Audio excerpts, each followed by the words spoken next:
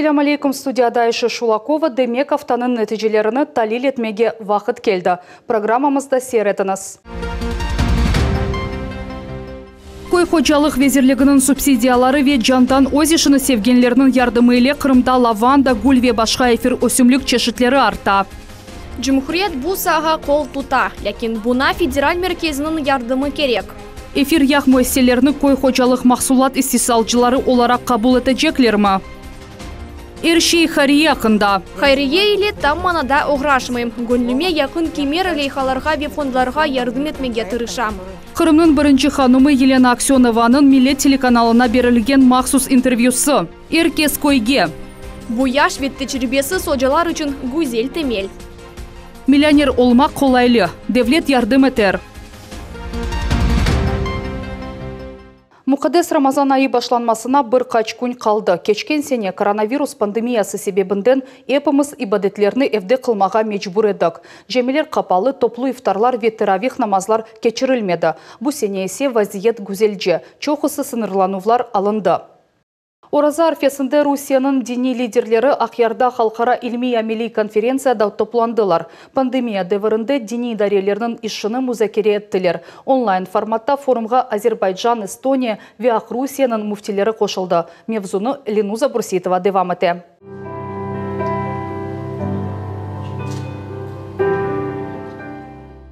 Русияның чешіт көшелерінден 200-ден зияде иштиракчы 30 дини идаре. Ислами медениетнің векіллері іштимай қызметте яңы янашуларны музакере етмек үшін Севастопольде топландылар. Джабраил Мухлоев Ингушетияда дини тешкілятның ребері, ярымадаға зенаддашларының тежірибе пайлашмақ мақсадынен ilk сефер келді. Қырым топрағында ilk сефер Севастопольде. Біз Қырым муафақиетлеріне 7 ел девамында юз берген деңішмелерге қуванамыз жами құрула. Онлайн шекілде Құран оқылывы огретілуі білгі арттырыжы программалар мұқаддес ай девамында хайрие үшлер. Вебунен мұсылман дини идарелер пандемия девірінде бежерген үш бітмей. Бір бұчық елдан берлі кенеде дин қызметлер тоқтамады, девам етті. Оның үшін муфтилерінен бір көрушмеге, әмде пайлашмаға bilgilerimizni tecrübelerimizni niyatlandik böyle bir konferensiya yaptık. Sağ olsunlar herkes davetimizga javob berdi qrim va sevastopol musulmonlarining muftisi emirali ablayev qayd etgan kb koronavirus eposi odamlar uchun ularning milliy mensubligini baxmadan telukka oldi bugungi e, bizim uchun hech bir farqi olamaz. Chunki biz e, insoniyatga xizmat etmaktayik demek biz onu devam edecek ve devletimizden e, birlik beraberlikte doktorlarımızdan hepimiz bir olarak inşallah bu hastalıktan kutuluruk ve güzel günlerimizi görürük. Онлайн форматта субетке Азербайджан, Эстония, Ақ Русияден муфтилер қошылды. Тәдбірге Жүмхуриет елбашчысы да тешриф бұйырды. Сергей Аксенов Қырым муфтилігіне япылған иш үшін тешеккүрлер білдірді. Ве мен эминім, Қырымлылар эпысы ве Қырым мұсылманлары Русия халықлары айлесінде өзлеріні пек яқшы дуялар. Ер вақыт қолтутув дуйла, аңлав ве урмет көстерілі. Оның үшін яқшы ки әр шей илерлей. Эр омыр, эр жан, эр сағлық үшін күрешежеміз. Девлет органлары тыбби муесселер ile берабер чалышып, муфтилік пандемия деврінде де қызмет етті. Эпісі жамилерде эпидемияға қаршы чарелер бақылды. Эсасы шлер яшларға тербие беруге ве миллетлер ара мунасебетлер пекітілуіне доғыртылды. Яшлар бұны тез аңлайлар, өзара қонышалар, регионлар арасында тәжірибе пайлашуы кете. Миллетлер ара муабетлік ісе бұйық рөлні ойнай. Барышық, тынчылық, умумен Русияде ве Қырымда аман есенлік. Коронавирус чеші жеттен яшайшымызға деңішмелер көрсетті. Ақяр шерінің губернаторы қайдетті ки ашлама компаниясында руханилерінің қол тұтывы пек мұйым. Kayıt etildi ki pandemiya biteceği daha belli değil. Gelecekte ne olacağı anlaşılma. Şimdi aşılama kampanyası kete. Bu işte dini idare büyük tesir gösterir. Çünkü adamlara aşı yaptırmak pek mühim. Bu biz için umumi hafsızlıktır. Тасил аспекті де диққатсыз қалмады. Қырым ве Севастополь мұсылманларының муфтисі Ислами институт яратылу вақта етті. Оны мұнда зінжірлі медресе базасында құрajaqlar комплексінде Қырым мұсылманлар дини идаресінің мүлкиетіне кечірділер. Шымды проект смета весиқалар üzerinde үш алып барыла. Яңы Али оқып юрты ислами тәсіліні ғайрыдан тіклейжек. Экспертлер лейханы таздықлаған ве малеви меселе чезілген соң құручылық мұдетлері ақында лав юрсетмек мүмкін олар. Миллионер олмақ қолай, ниет олғаны етерлі девлет есе ярдым етер. Тек бұның үшін койге көчмеге керек. Көйлерді иш меселесіні федераль программалар ярдымынен чезелер. Земский доктор ве койлю Оджакова. Яш мутихассыларны койге желпетмек үшін девлет миллион рублей төлемеге азыр. Тапсылятлыча бізім мақсус левхамызда.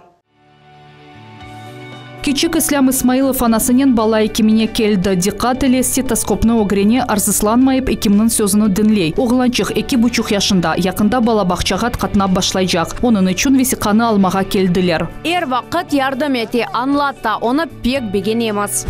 Тиби бақовны қорқу век коз яшсыз кечірмек бұ ақықы усталық. Доғыру диагноз қоймақтан ғайры педиатр баланен тіл тапмақ керек. Адил Садыков тамам бөлелерден. Яш мутихасыз педиатр екімі тәсіліні алды, sonra ординатурада анестезиолог екім оларақ çalışты. Да бала инфекцион хастаханесінде амелият кечті. Шымды туған бұлғанақ койының хастаханесінде çalışа, койды çalışмақ бойынша сонки қарарына земский доктор федераль программасы тесір етті. Бұ яқшы ишве айлық емді қошма оларақ 1 миллион рубле. 8 ел оқымақ бу колай дегіл. Бу қиын емек. Бөле программалар улғаны пек хош. Мутихассызлар, хусусан енді чалышып башлаган мутихассызлар үшін пек яхшы. Чүнки әр шейні sıfırдан башламақ ағыр. Девлет тарафындан пек яхшы дестек. Бала екемінің ярдымына мұқтажлар чоқ. Доктор Садыков бин дорт юзге якын балаға екене екім. Оларның яшы чешіт бір қач күнден чағына еткенже. Бір күнде 30-ға якын қабыл. Евге чықувлар комшу көйлерде фапларға етіп баруф ашыламалар. Иші пек чоқ. Әр шейні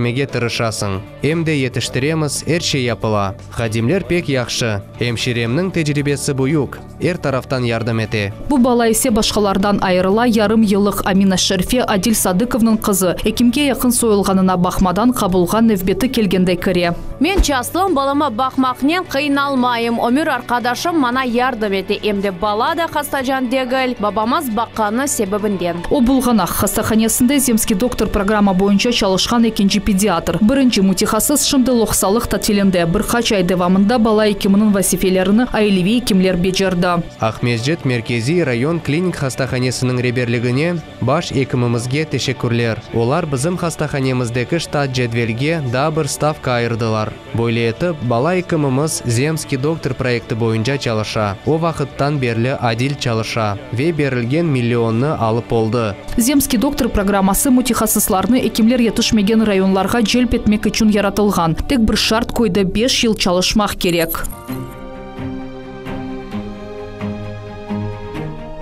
Учалар да миллион казана біле, кечкен сенеден берлі земский учитель адлы программа çalışы башлады. Миллион алмақ ақы яш мутихасызлардан ғайры 55 яшқа же тәжірибелі ожаларға беріле. Бұл сене Қырымда 30 уч вакансия ачық. Ең чоқ сұрағанлар арасында риазият, яни математика, рус тілі ве әдебият ожалары.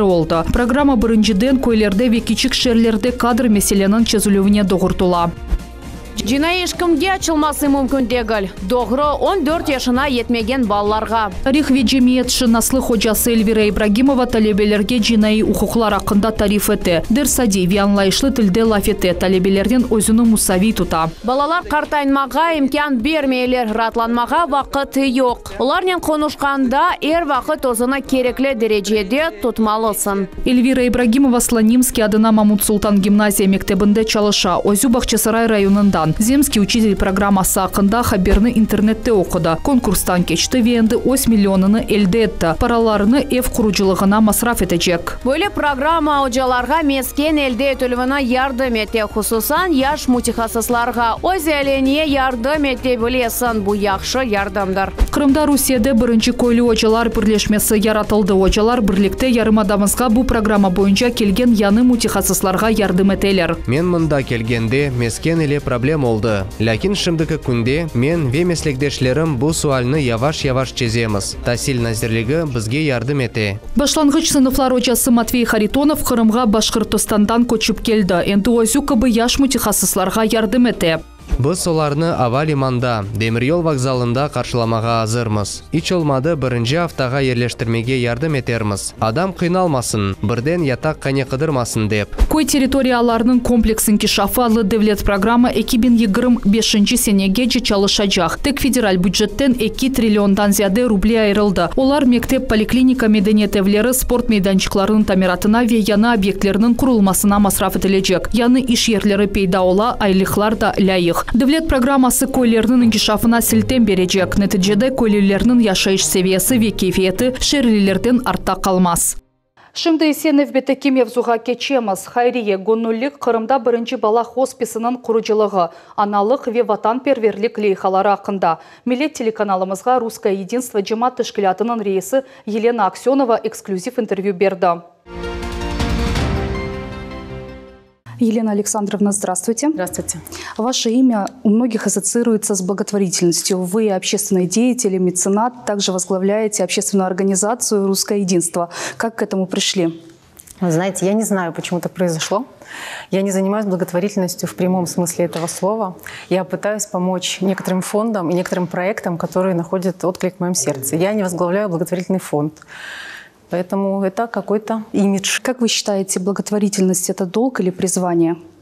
Э, безусловно, это призвание. Благотворительность – это очень сложная работа. Мы должны разделять благотворительность и милосердие. Если ты идешь, увидел, э, кого-то пожалел и помог ему копеечкой, это не благотворительность. Благотворительность – это система. Эта система призвана сделать так, чтобы вот этих людей на улицах, которым мы хотим дать копеечку, не было. Чтобы решить эту проблему, чтобы решить проблему с бездомными гражданами, чтобы решить проблему с детьми-сиротами. Это очень сложная работа. Я почему ей не занимаюсь? Я боюсь, что мое сердце это не выдержит. Я поэтому готова помогать любыми способами, другими, преклоняюсь перед людьми, которые занимаются этой деятельностью. Мы знаем, что благотворительная акция «Белый цветок» ежегодно набирает все большую популярность. Как в этом году и в каком формате пройдет эта акция? Благодарю всех крымчан, благодарю участников и гостей полуострова, которые ежегодно посещают это мероприятие. Благодаря вам и всем нам мы ежегодно помогаем огромному количеству ребят отправиться на плановую или неплановую операцию или какие-то обследования дополнительные. Два года подряд мы приняли решение и половину средств, собранных на этой акции, передаем на строительство Крымского детского хосписа. И вот, наконец, уже дело дошло до проектных общестроительных работ. Я надеюсь, что у нас в обозримом каком-то будущем уже будет такое место, куда мы сможем прийти, показать. И самое главное, смогут приехать те родители, которые имеют этих паллиативных ребят, посмотреть друг на друга, поддержать друг друга в том числе, потому что у них такая просто жизнь. Они не лучше, не хуже, они просто так живут. И мы должны это понимать и постараться создать им условия для хорошей, качественной, нормальной жизни. И спасибо всем еще раз, что вы откликаетесь и участвуете в этой акции. Я очень рада. Детские сады принимают участие, школы. И вот когда уже время подходит к проведению акции, многие сами звонят и говорят, с нами никто не связался, что нам делать? Мы вот тут все себя провели. А в этом году Республиканский день проведения планируется на Судак. Я надеюсь, что Судак нас гостеприимно встретит, ну и мы покажем, устроим праздник. И, кстати, вы сказали об особенностях. Я веду переговоры с одной организацией, которая занимается модой, и они прямо очень заинтересованы и говорят, а давайте мы как-то поучаствуем в белом цветке, может, какие-то костюмы. То есть, может быть, какая-то изюминка в этом году и получится. На этой неделе состоялся премьерный показ художественного фильма «Право выбора». А также был круглый стол, э, который был посвящен теме «Осознанное материнство». Расскажите, о чем фильм и почему именно такая тематика? Э, фильм «Право выбора» о том, как врач, э, получив назначение, став главврачом одного роддома, пытается изменить отношение к абортам в веренном ему учреждению. В первую очередь отношения среди врачей. Врачей, медсестер, то есть вот среди медицинского персонала. И мне бы очень хотелось, чтобы наши врачи, наши студенты, которые присутствовали на показе, ну что-то вынесли из после просмотра этого фильма. А дискуссионная площадка называлась «Осознанное родительство», и на ней была выработана резолюция с конкретными э, прям планом действий, и я очень рассчитываю, э, что благодаря тому, что в ней принимали участие в том числе министры и ну, первые люди в своих отраслях, что у нас получится осуществить эту программу, что она не завязнет, не останется просто на бумаге, а мы сможем ее внедрить в жизнь и будем работать с подрастающим, с подрастающим поколением и вообще изменять отношение к этой сложной проблеме в нашем обществе. Почему так важно открыто, публично обсуждать эту тему? Надо очень осторожно обсуждать эту тему. Здесь важно не навредить, но хочется, чтобы люди понимали, что то у этой темы она ненормальна.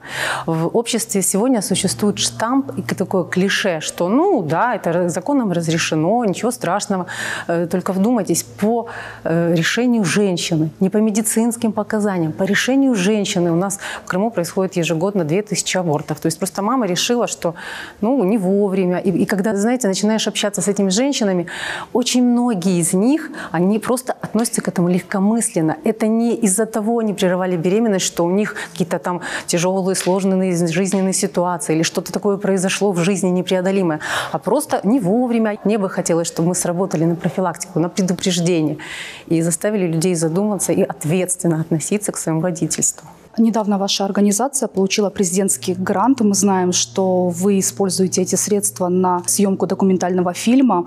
Он будет посвящен Великой Отечественной войне. Какой именно эпизод войны и почему именно этот эпизод вы хотите экранизировать? Наша организация, да, впервые участвовала в конкурсе президентских грантов. Действительно, мы выиграли этот грант, но фильм будет не документальный. Это фильм будет э, такой больше просветительский и публицистский. Мы хотим этот фильм показывать в школах. Он будет рассчитан на школьников, и хочется, чтобы ребята узнали о 51-й армии в целом, не о каком-то эпизоде, а о том, что эта армия э, сделала для Крыма, как она была создана, потому что она формировалась здесь. Например, медицинская часть была сформирована из преподавателей преподавателей нашего медицинского института и студентов старших курсов. В ополченцы были очень многие записаны, наши крымчане. И когда мы говорим 51-я армия, все знают, у нас есть улица, там улица Крейзера, маршала Василевского, и все. На этом наше познание заканчивается. Никто не знает, как армия отступала, как она участвовала в Сталинградской битве, как она потом освобождала Крым, наступала, потом пошла освобождать Донецк. То есть хочется, чтобы дети знали, вот армия, она была сформирована здесь, и вот такой вот путь прошла. В принципе, мы не взяли на себя инициативу, не замахнулись вот с нуля. Ко мне обратилась съемочная группа, ребята, ну, попросили поддержки. Я говорю, ребят, ну, мы не можем выделить средства на снимать фильм, давайте как-то попробуем, поищем их. Вот таким образом нашли. То есть это занимаются профессионалы, занимаются э, сценаристы, режиссеры. То есть вот сейчас как раз идет отбор, уже прошел онлайн-отбор, кастинг, нам нужны двое ведущих, то есть ребят-подростков, которые бы смогли сработать на своих сверстников, чтобы это не скучные там дяди и тетя рассказывали, какую-то лекцию читали, а все-таки был какой-то вот э, ну, диалог диалог на равных. Мы рассчитываем, что получится такое доступное кино для нашей молодежи, интересное. И когда ждать премьеру фильма? Ну, у нас запланировано на август. Ну, если все будет хорошо, может быть, даже в июле. Какая еще работа проводится русским единством для сохранения памяти о Великой Отечественной войне, в первую очередь у молодежи? У нас есть большой проект «Мы наследники Победы», и ваш телеканал ежегодно поддерживает тоже наш проект. Благодарю вас, пользуясь случаем. Я хочу сказать, ежегодно огромное количество ребят принимают в нем участие, но в связи вот с последними нюансами карантинными последнего периода было принято решение. В этом году этот проект проходит в виде эссе и видео видеосюжетов. Мы принимаем такие работы. Это сейчас проверка работ в разгаре, сейчас как раз муниципальный этап, и мы читаем удивительные работы, очень интересные посылы. Э, ну, даже вот могу сейчас, если начну разговаривать, полчаса буду рассказывать про истории, которые описывают ребята. Там вот недавно была история про крымско-татарскую семью, которая за помощь партизанам э, должна была быть расстреляна э, немцами. Это симферопольский мальчик написал такую историю.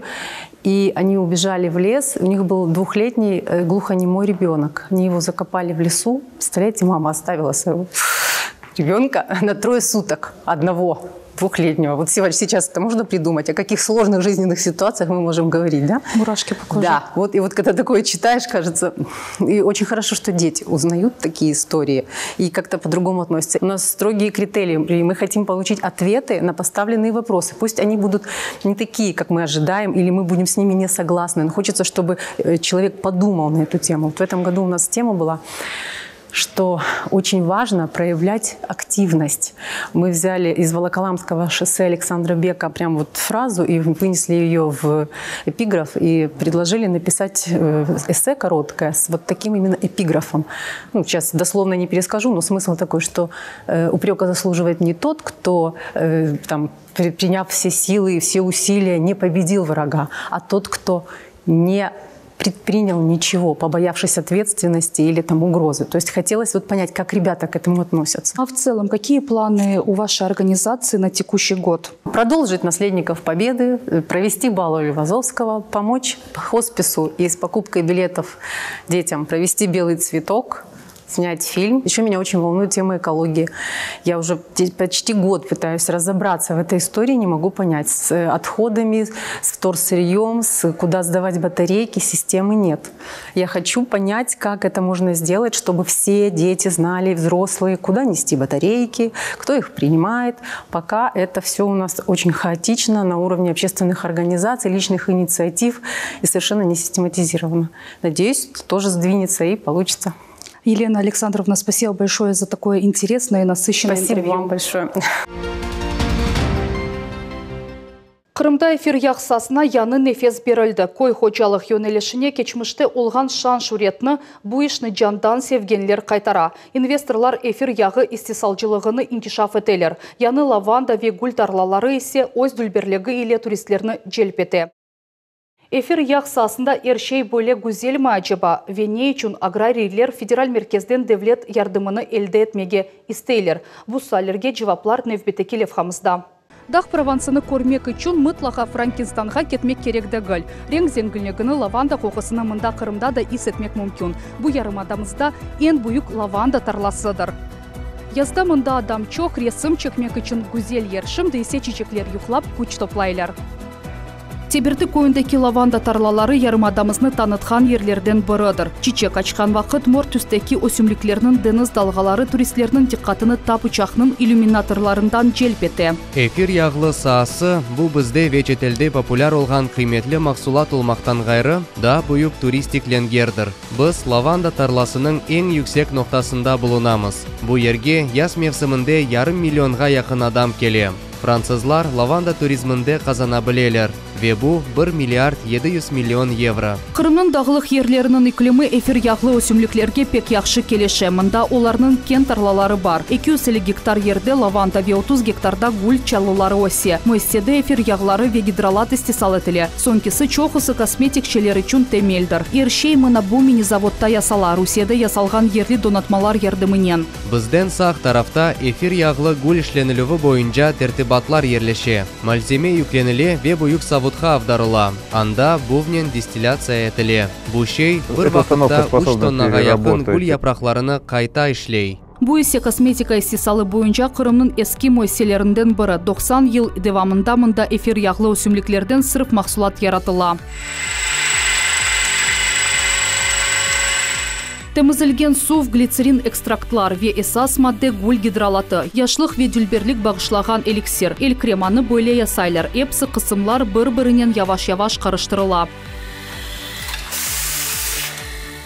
Лабораторияда кейфиет тешкірілуінден сон кремні тубаларға толдуралар. Энді мындан азыр мақсулат сатылыққа чықарыла. Мөйседе толу шекілде модернизация кечірілді. Бұл себептен 4 ел девамында маллар сатылуы бір ярым кереге артты. Ассортимент де кенішіленді. Қырымда девлет тұтуының чеші талетлері бар.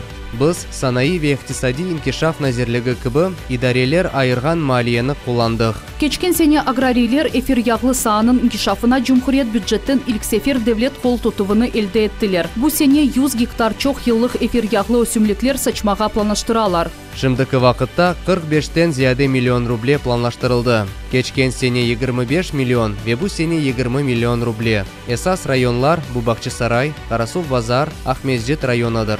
Бұңа бұйық диққат айырыла. Бұл саға емде малие тарафтан қол тұтмақ керек. Әлбет, шымды олған мұтехасызларымызны жоймамақ керекміз. Са Қырымның агросанай комплексы үшін стратегик сайла. Совет бірлігінде 48 эфир яғлы өсімлік чешті асралайды. Бұл бір елда 1200 тоннаға яқын мақсулат. Эксерей қысмы Қырымда истисал етілейді. Ама бүгін эфир яғлы са яртырымлар жеттен мерақлы дегіл, чүнки девлет қол тұтывы йоқ.